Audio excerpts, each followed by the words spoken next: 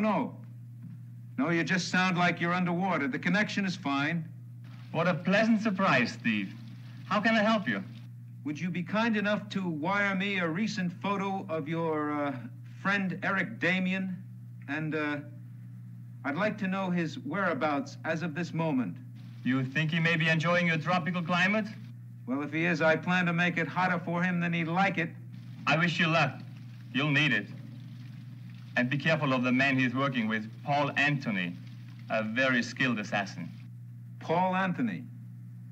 You, you better wire me a description of him also, Hans. Will do, Steve. Thank you.